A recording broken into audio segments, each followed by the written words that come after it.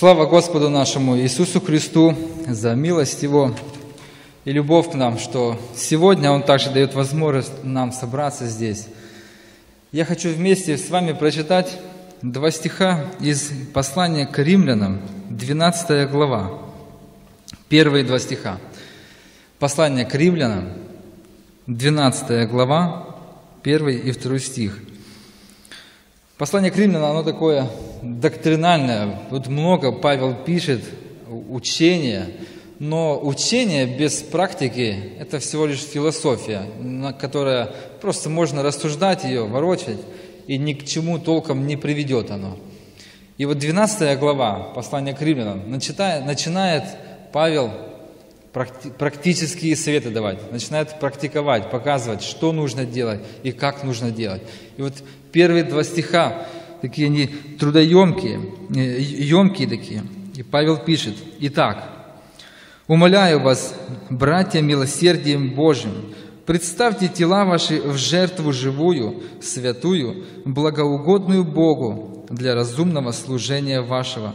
И не сообразуйтесь с веком сим, но преобразуйтесь обновлением ума вашего, чтобы вам познавать, что есть воля Божия благая, угодная и совершенная.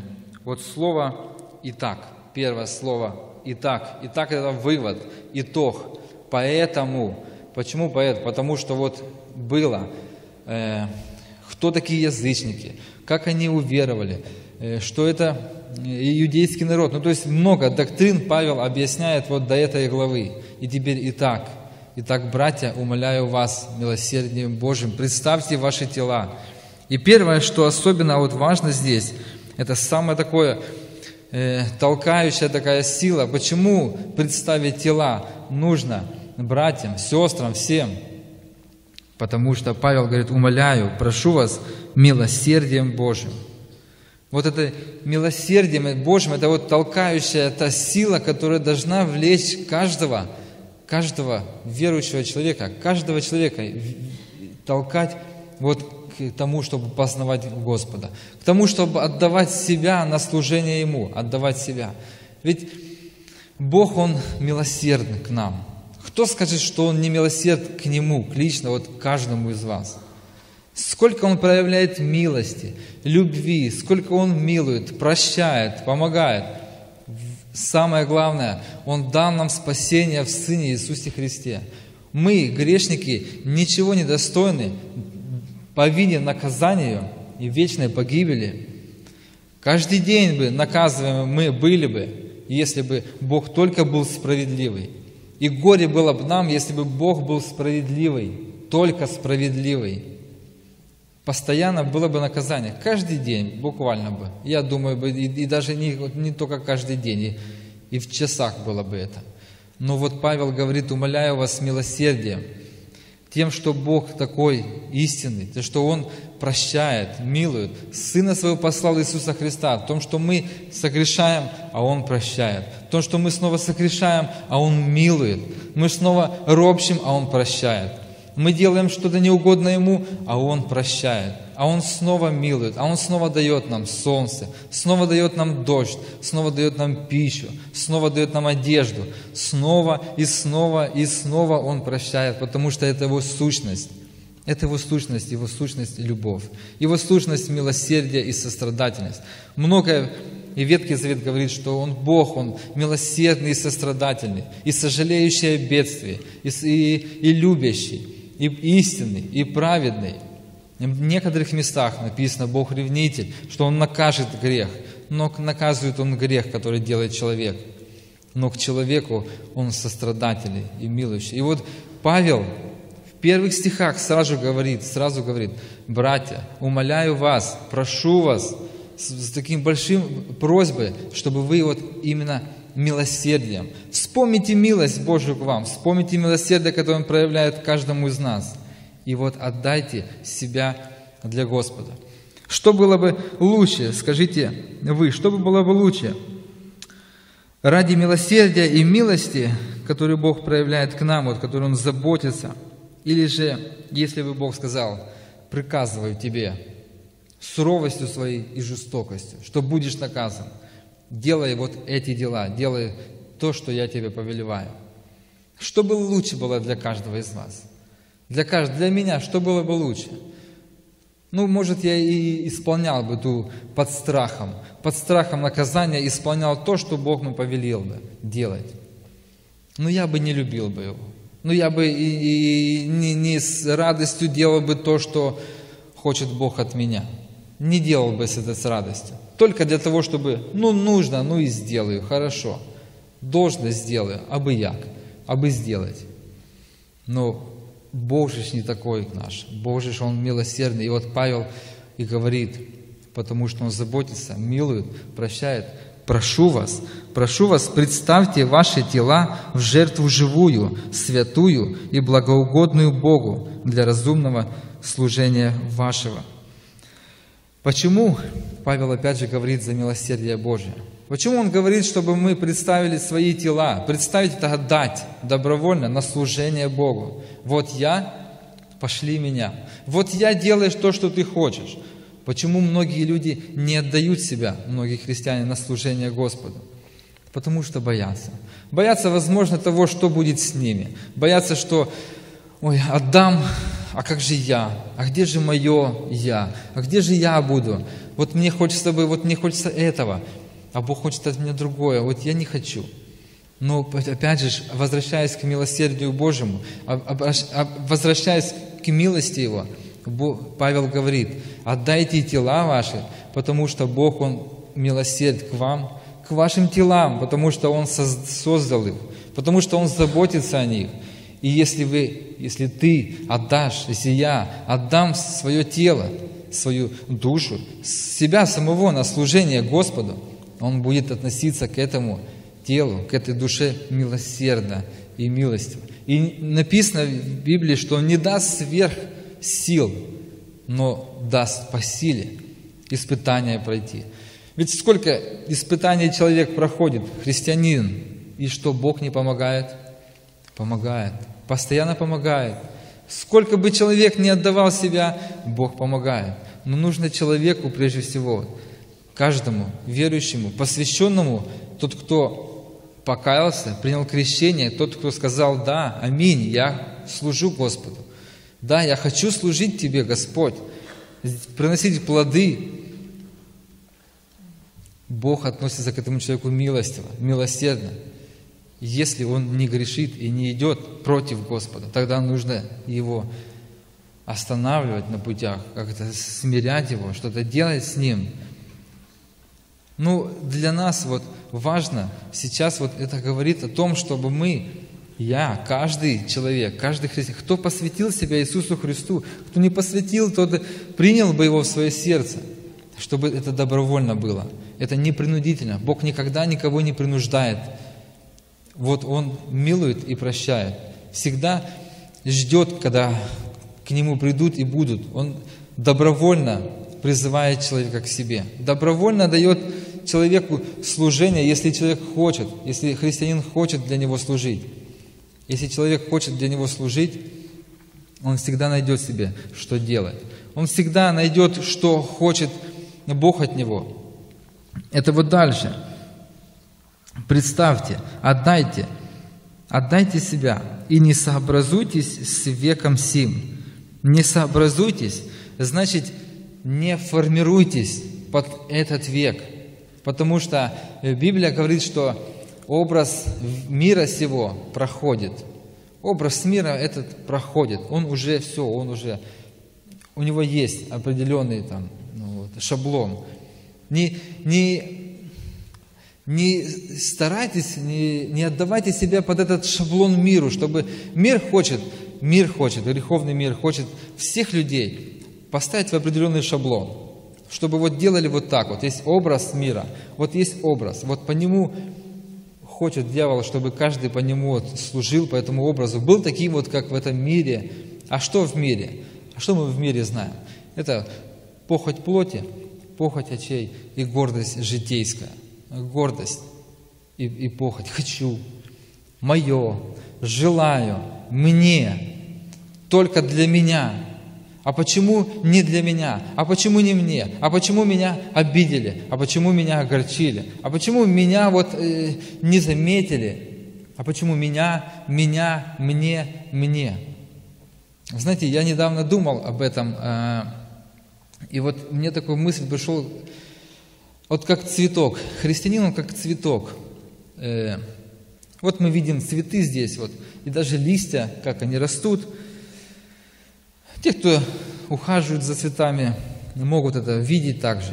Вот если цветок, он закрытый, стоит, э, вот он растет, вот он закрытый, он не пахнет, он не дает своего плода, он не дает для того, что, для чего он создан, он не распускается, он не, не благоухает, он просто закрыт, но он хранит себя, он хранит то, что в него внутри, он э, просто оберегает себя. Вот Христос предупреждал, чтобы вы не оберегали себя, не хранили себя. А что, когда, когда цветок, он благоухает? Когда приятно на него смотреть? Когда? Когда он открылся. Когда вот представьте лилию, там, лотос, который открывается, на него приятно смотреть, он благоухает. Он свои лепестки распускает вне вот христианин, он должен служить вне, он должен распускать себя, он должен отдавать себя. Вот тогда это, как дальше говоритесь, говорится, преобразовать. Как, Христ, как цветок себя преобразует из семени, семя бросается, потом тело растет. Христианин также возрастает, укрепляется в Господе и распускается. Но если он не распустился, а держится себя, держит себя вот в этом э, как оно вот, э, ну, бутоне, да, держит себя в бутоне и не хочет распускать, не хочет отдавать себя для Господа, то он так и погибнет. Не, не отдав себя полностью, не исполнив то, что предназначено ему Господом. Но когда ты открылся, когда ты хочешь открыться и служить Господу, служить вне служить братьям, сестрам, миру, служить людям, есть определенные опасности.